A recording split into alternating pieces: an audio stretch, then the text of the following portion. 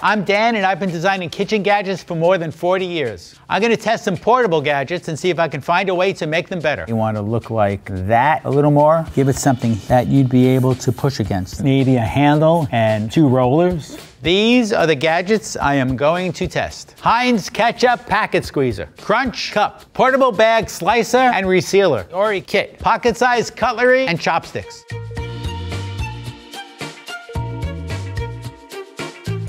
Heinz Ketchup Packet Squeezer. Its purpose in life is to squeeze every drop of ketchup out of a packet. It is also a cute keychain. Let's see how effective it is. Now, I need a packet. So I've got a ketchup packet here, and I've got a portion of the device, the gadget, where I'm gonna stick this in, pull it across, and hopefully it's gonna cut that corner open. And it did, although I spilled a bit. Now, my next step is to start feeding this in, and I'm gonna have to line this up with a slot. I'm gonna start to roll. I've got some ketchup on my hand, but let's see how we do with getting the ketchup out. Go, go, go, go, go.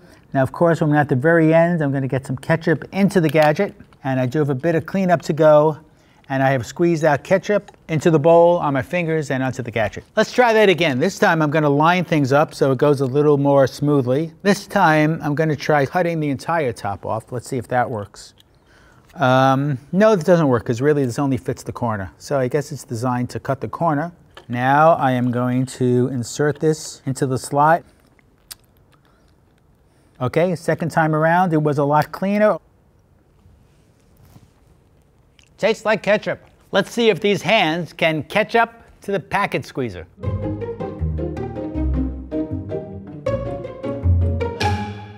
So let's give this an effectiveness rating. I'm not gonna go very high. I mean, I guess in terms of effectiveness, it did squeeze out the ketchup, but it took a little bit of work. It was a little bit wasteful. I think in effectiveness, I'm gonna go right down the middle. I'm gonna give it three out of five. I don't think we need a left-handed oil test because as you saw, I was using both hands to do this. And there's not a lot of force in doing this, but there is a bit of accuracy that's needed. That said, I'm not sure I'm gonna learn anything by oiling up or making my non-dominant hand slippery and trying it again. Let's talk about usability. I thought this was way too fussy. As I pulled this open, it was a little sloppy. I was getting some ketchup already on my hands when I'm slicing this. And the other usability issue is that in order to get the packet to align with the roller, I've got to look really closely and see when this gap is really visible and it's not easy to see at all. So usability, two out of five. It's got its curiosity aspect to it. And honestly, I was looking forward to trying this. Let's talk about a redesign. And I'm kind of curious to see what I'm going to have to say about this. So one thing that would be relatively easy is I would make this inner roller a different color so that it's really, really visible when you have this in the right position to insert the back end of the packet. So even though the roller is on the inside, it is round and circling here. I would even put an indicator here that would make it really, really obvious that the slot is aligned and it's time to insert the packet. There's no reason for this little slot arrow where you actually start the packet to be so small. I think I would enlarge that and maybe even change the three-dimensional shape of this so that it slides in more easily by itself. I'd also do something to make this a little more finger friendly so that this piece will pop out more easily so that you can clean it. If you really need to get all that ketchup out of your packet, I think I would make something that probably has maybe a handle and two rollers so that you're pulling it through like an old washing machine and it would be a much more simple device. It's not that difficult to tear open the corner of the packet. I would just make two rollers that are kind of passive rollers and feed them in and pull it across. In terms of washing this or cleaning it, everything is hidden in here. Honestly, I would rethink this thing significantly. Now, I don't think this is necessary. I'm not giving it any better than a one. It's kind of cute. It has its amusement factor if you use it once, but I don't think you use it more than once. Crunch Cup. This is the Crunch Cup. Its purpose in life is to allow you to eat cereal on the go without the need of a bowl or spoon. This is probably designed for people who can't decide what goes in the bowl first, the cereal or the milk. Let's see how effective it is. So let me explain how it works. Cereal goes in here, milk goes in here. It's actually two parts here to the cap. If you look very closely, there's a fill line on here. Let's screw that piece on, stick this in. I'm gonna trust the line. I think we're ready to walk around the house and have Froot Loops. Hmm. My milk to Froot Loops proportion isn't quite right. I'm gonna try my technique and I may have to actually block some of the milk pouring out until I get enough Froot Loops into my mouth. So let's give that a try.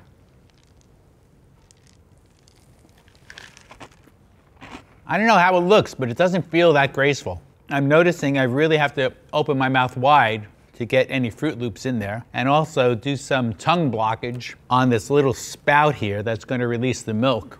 It's not giving me an immediately great first impression. It's also curious, I think, that it doesn't really cover up the top. So in a way, it's portable, but you have to be careful. You have to walk around like you're walking around with an, basically an open cup. And I'm not actually sure I would want to walk down the street with this. Let's compare the Crunch Cup with putting your milk and cereal in a more standard travel tumbler. Stand back.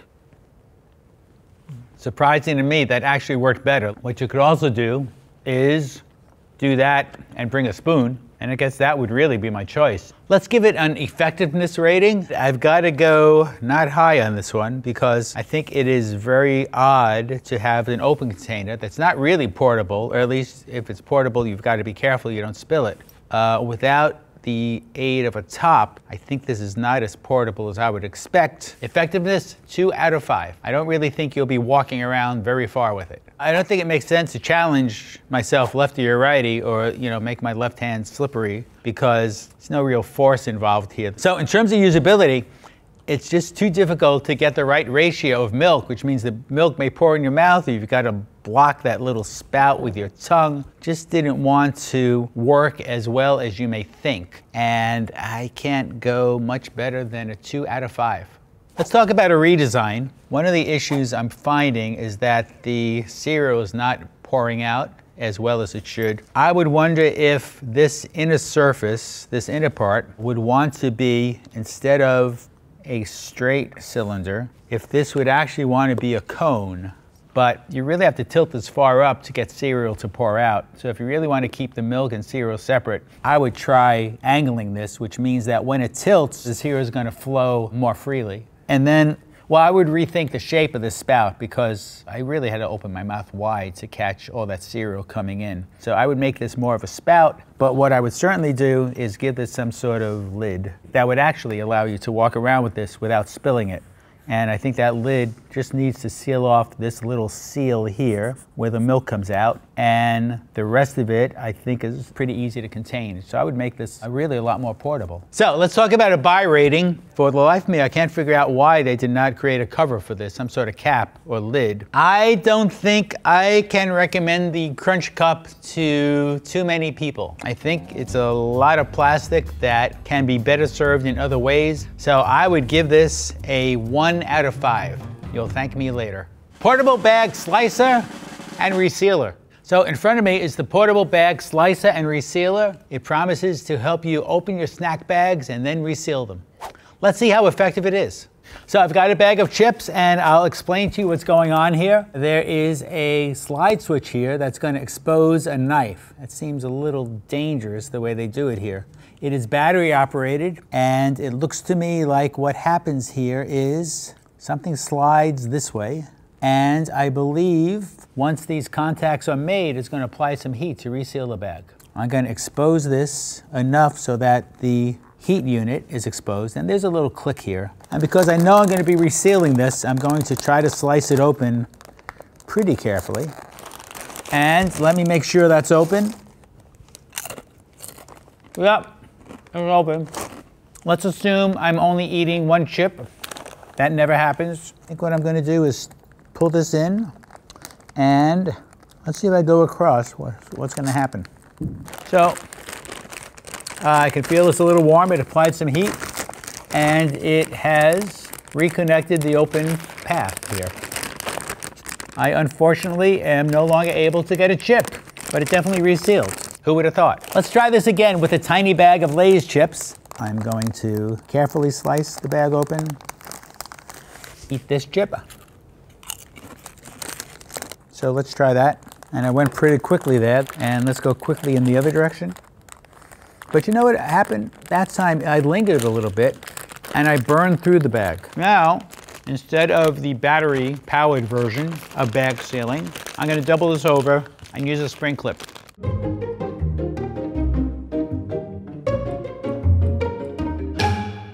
Personally, I think I would go with the clips. Folding the bag over two or three times, I think is going to seal it without any problem. So let's talk about an effectiveness rating. I can't fault it too much there. I think in terms of sealing the bag, again, it takes a couple of tries to get your technique down, but I would give that four out of five. It's not that it didn't work. It definitely resealed the bag.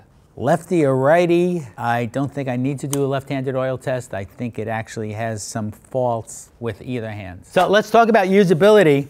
There are a, like enough faults on this that I don't think is very usable. So for instance, sliding this piece to expose the heating element, uh, it's supposed to snap into place, but it's not easy to slide. There's nothing here really you can push against. It's not that well designed. Also, in terms of uh, identifying itself, it doesn't anywhere identify itself what it is or what it could possibly be used for, which is important if you have this sitting around the house or in the drawer.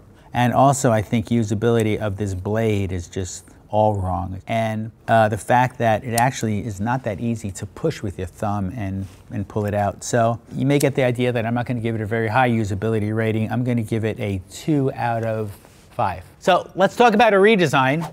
In a redesign, one of the first things I would do is do something different about this razor blade button. First of all, it's not really meant to slide easily because there's just a little bit of texture here and you're pushing that way. It springs back so there's really no reason to be able to pull it back. But if there was some way to interlock it so you cannot slide it open accidentally, if there was some second action that you could do, that would be something that I'd work into it. I would put a shape in there that would allow your finger to easily push that way. In terms of locking it, there are a number of ways you can do that. It could be a second action, it could be a second piece here, it could be a press and lock thing. The other thing I would watch is this piece, this battery piece that is meant to slide, needs to be pushed open. So this part clicks open and this can push open, but there's nothing here really to push against. So I would give this either some sort of curvature shape so you have something to grab against as you push it back and forth. Or you can do that same thing from this direction,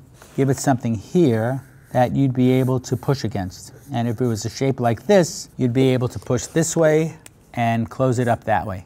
One other thing I would look at is whether or not there's more of a visual indication of where the edge of the bag may want to sit. So I would think that maybe along the top here, there'd be some graphic that would tell you or give you an indication of how far you really should go to seal up the bag. And so if there was a indication there, the bag would be able to sit like that. And the heating element would be far enough in so that you're not falling off the edge of the bag. So for a buy rating, I'm giving it a one out of five. I know I gave it higher ratings for effectiveness because it is effective. It does airtightly seal a bag. I just don't know if you need it. This does not exactly have my seal of approval. Ori kit. This in front of me is the Ori kit. This gadget claims to use the art of origami to transform itself into six different kitchen tools. Let's check its effectiveness. I have a pan of scrambled eggs here. So the tools it comes with is a tiny spoon, which needs to be held together. This is a slightly larger spoon, and when it comes together, there's a magnet, although the magnet is a little uh, weak to hold it together. Here's a larger spoon, same thought, the magnet holds it together. Here is a spatula that we're going to use for the eggs. It's got two magnets that should hold itself together. This one is a strainer, and this last one is a larger scoop. So what I'm going to use is the spatula version. Seems a little floppy, but let's try it. And not sure it's going to scrape, but it will work like a shovel to get the eggs onto the plate. Can I now use one of these to eat? I will try the, maybe I'll try the smaller size one and take a bite. It's not like they don't work. Let's compare the utensils in the Ori kit to their actual utensil counterparts.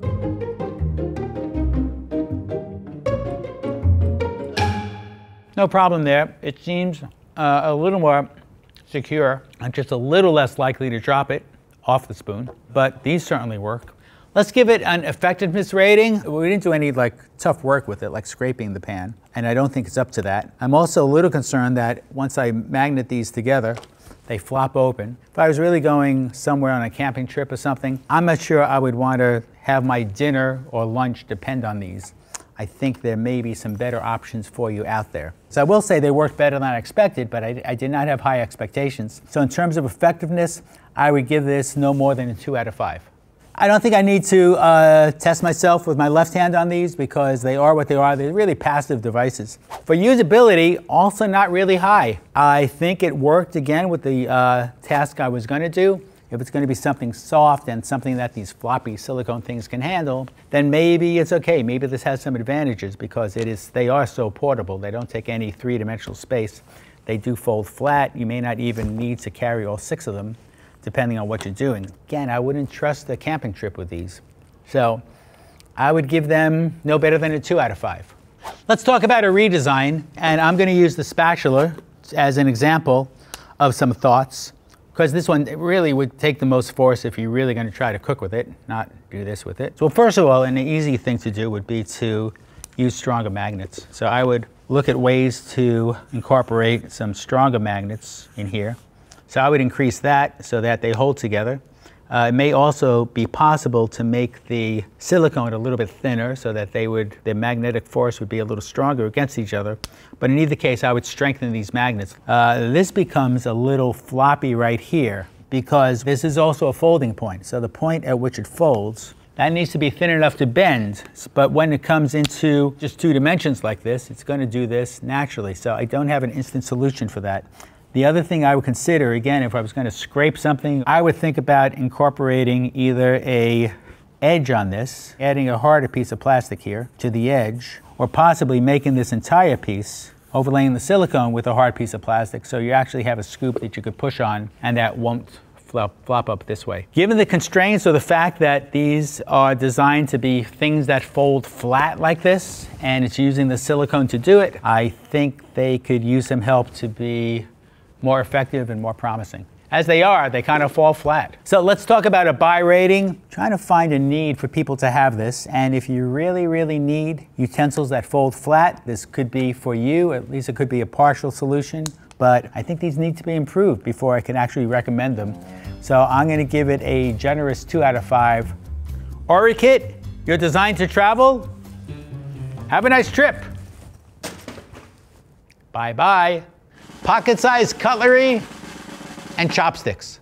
In front of me is the pocket-sized reusable cutlery and chopsticks. This kit contains collapsible utensils and chopsticks and comes in this handy little metal case. Okay, so let's sort out what we have. So the knife, the fork, and the spoon are easy to identify. Now I've got a couple of closely related shapes here. There are a couple of grooves on this which I am going to pretty well assume are the chopsticks. I am going to assemble by screwing in chopsticks first, knife, fork, spoon.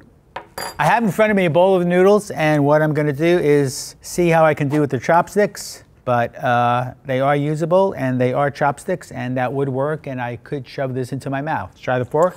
I'm not sure if you noticed that, but spinning a fork when you have a very round silvery handle is not that easy. There's nothing really to grab on as you're spinning. You just have to squeeze a little harder. I think there's a compromise in terms of usability of the utensils that you end up with because the diameters of all of these are rather small and completely round. Not the easiest to use utensils. It sure beats a plastic knife. So that is working. I think the real question comes down to is how portable are these once they are folded up and supposedly portable, as opposed to how portable would a knife, fork, spoon, and chopsticks be anyway. In terms of working, I think they work. In terms of the effort to put them together, I think a sleeve would actually save some space. Let's compare those with their full size and solid counterparts.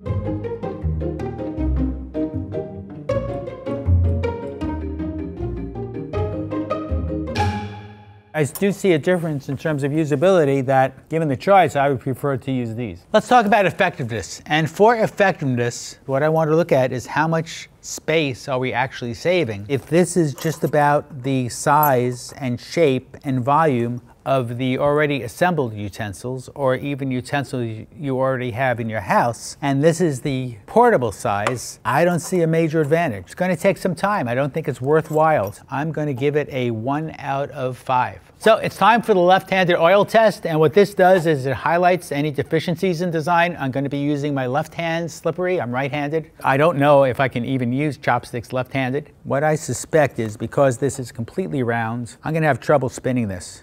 See, I've got no action there at all. If I compare this with a standard fork, I can spin this one. If spinning was a thing you want to do with a fork, I am out of luck trying to spin this fork. So I would consider that in the design of cutlery, and I'm not sure what we're really gaining in terms of making these collapsible or round or portable.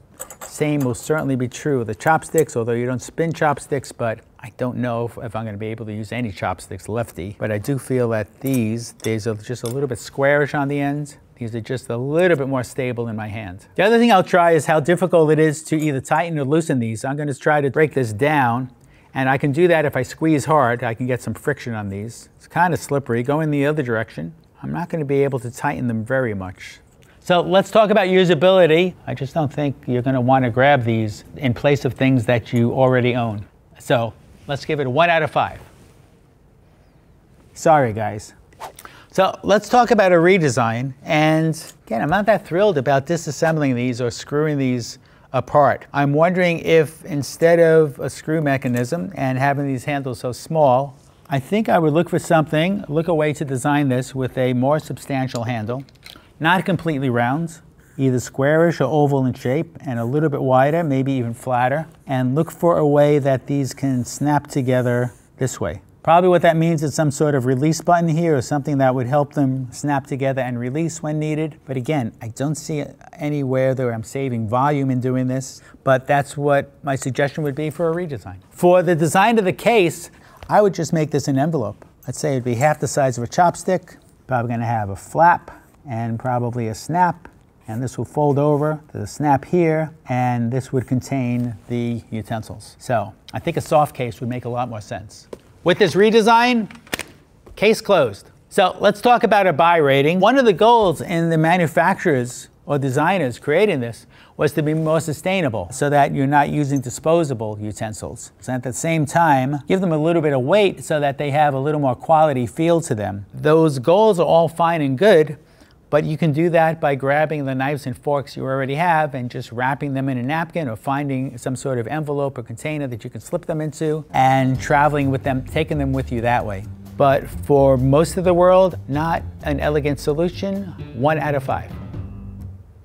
So typically on Well Equipped, we choose gadgets that we are a little skeptical about. Very often what we're looking for is some happy surprises like, wow, that worked better than I thought. Not today. Today I've got a range here of disappointments and we just have to be honest about these. Ultimately what we learned in this episode that none of these gadgets are worth replacing the things that you may already have in your kitchen.